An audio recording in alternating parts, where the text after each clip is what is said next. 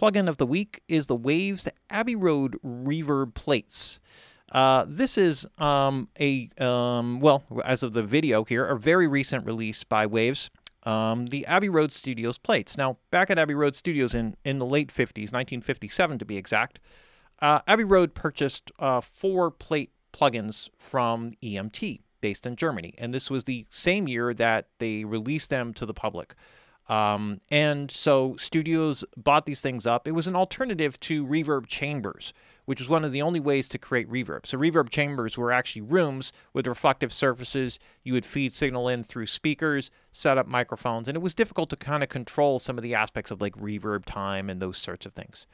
Um, and it was all acoustic and so there was some limitations and uh, in terms of working with that. And with the plates, it gave um, new options for the ways to work. So Abbey Road purchased four of these plates, labeled ABCD. I've seen the picture of the plate room.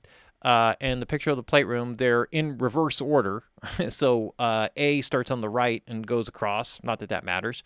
Uh, but the four plates uh, were emulated by Waves, and they've done an absolutely stunning incredibly ridiculously amazing job at it because in this emulation, what they have gotten that I think is a bit missing in every other emulation that I've heard are the tonal characteristics and resonances of the piano and the way that they come through, and also the shape and detail of the tail, which is just incredible.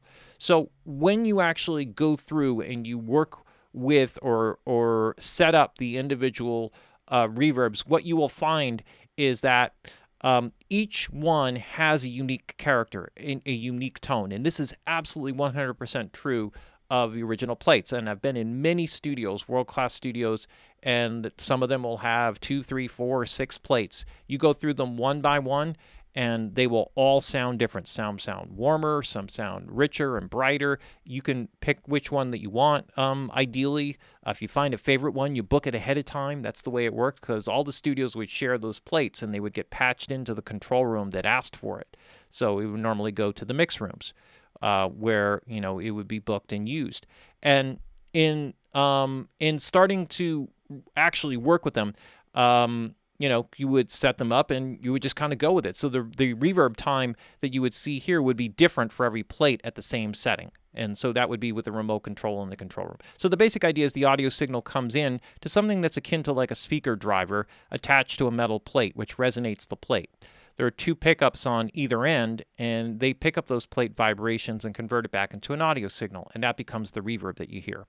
On the the basic thing here, when you have a plate, the only real control that is typically available to the engineer is the reverb time or the damper control. So there's a, um, a fiberglass uh, rigid panel which is mounted parallel to the plate. And what it does is when it gets closer to the plate, it makes the resonance less. It dampens down, so you have less reverb time. As it goes farther away, you get more reverb time. And it would typically give a range of about one to five or six seconds, somewhere in that range. And all plates would vary, some a little bit um, longer, some a little bit shorter. You'll, you'll hear that with some of the examples. The, um, the treble control emulation of this is actually from the electronics of the console that it returned on in Abbey Road Studios. So that's just an emulation of that EQ, a 4K shelf. The bass cut is part of the original uh, high pass filter electronics from um, uh, designed by EMT. So the uh, zero setting is no roll off, and then there are three settings um, which have different slopes that sort of start at 1K and end up at 10 hertz. That's the way that they measured it. And each um, step actually is progressively steeper. So a step three would roll off the most low end, but it's low end, but it's a relatively soft curve overall. And this would be something that would be attached in the plate electronics and not accessible in the control room by the engineer unless they knew about it and wanted it to be set a different way. Pre-delay was also something that's not part of the original unit. And typically, uh, if you wanted a pre-delay on the verb, you would send it through a tape machine, use the tape slap, and, and take the output of the tape slap in. Uh, later on, it was used with digital delays and things like that.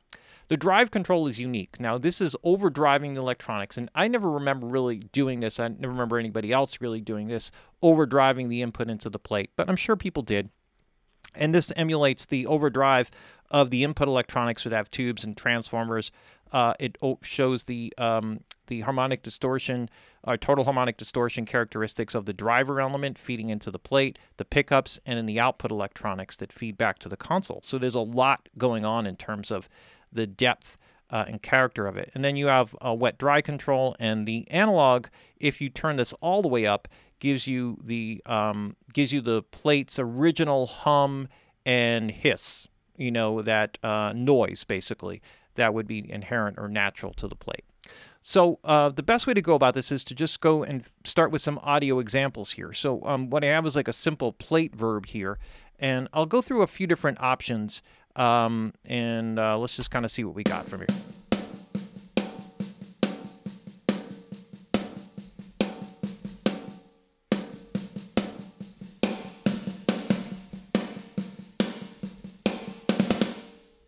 So if I go through, I'm going to increase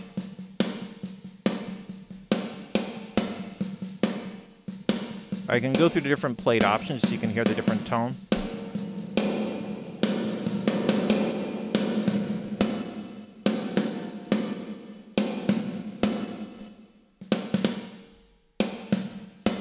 Oh, I'm going to kill this compression. Sorry, that will affect the tone, the sound.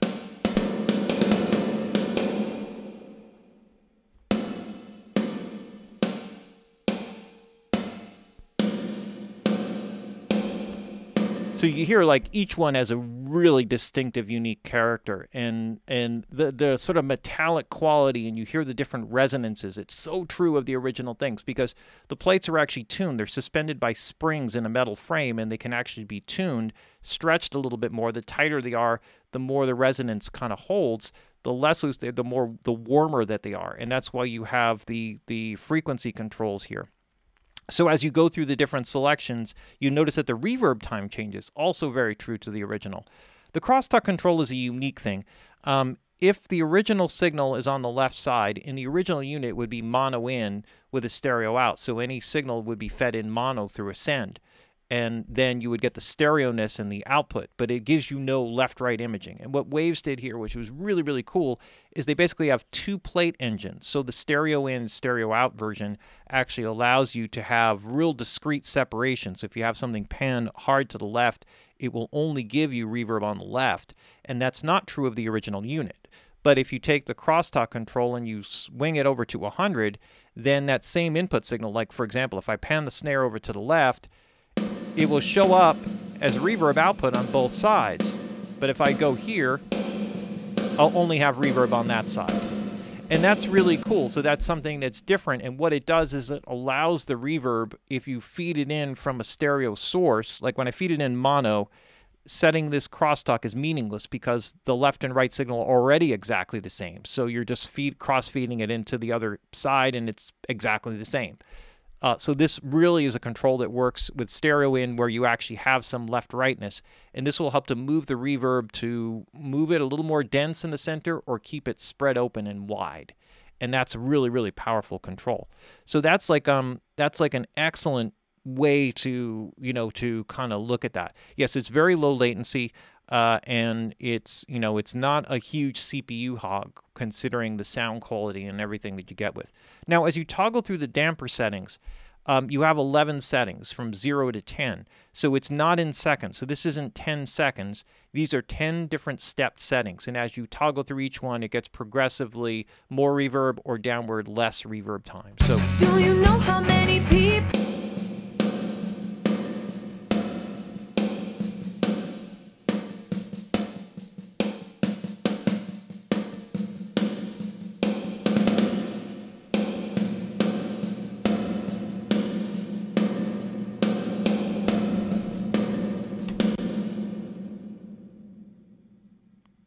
And Reverb D, I think, is like the longest plate time, but you can hear that's a pretty broad range of different um, of different settings, and it gives you quite a lot of control. In the context of the mix, if you just start listening to it from this perspective, and let me just kind of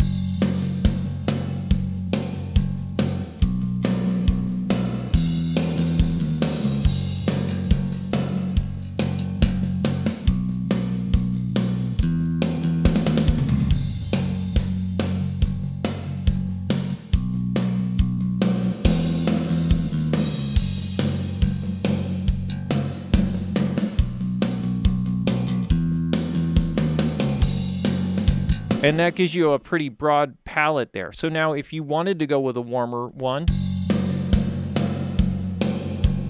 you could also go through some of the roll-off settings.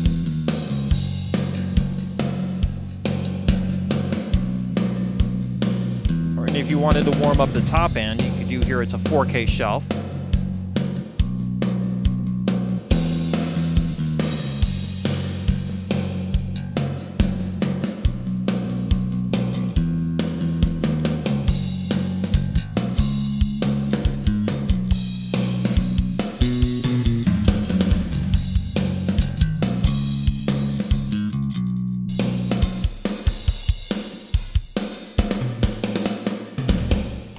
And uh, it's really you know it's amazing when you start diving into it because you could hear just with the different settings how really radically different all of the different things and with the bass cut and treble controls how many different tonal characteristics that you can get with this. And this is without any pre-delay.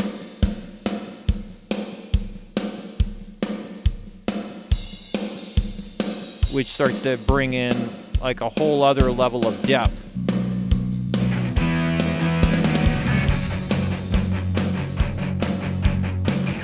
And what do you think? I have no other effects on here, just to kind of.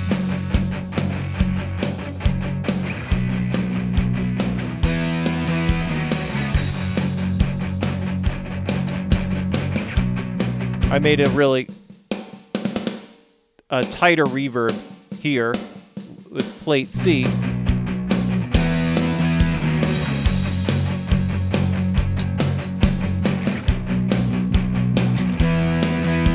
which you know be a little bit more typical for like a, an up tempo song like this to get the, the idea. But very very powerful plugin. When you start putting this on vocals, or you know if you have a ballad, you know, or something that's really open, and you just like the lushness and the richness of it is just insane. Um, you just go crazy over it. This is like really um, uh, this one really blew my mind uh, coming out and checking this out, and definitely one um, if you haven't picked it up or demoed it, definitely do so right away because this one rocks. All right, there you have it. That's the uh, plugin of the week, and that is the uh, Waves Abbey Road Reverb Plates.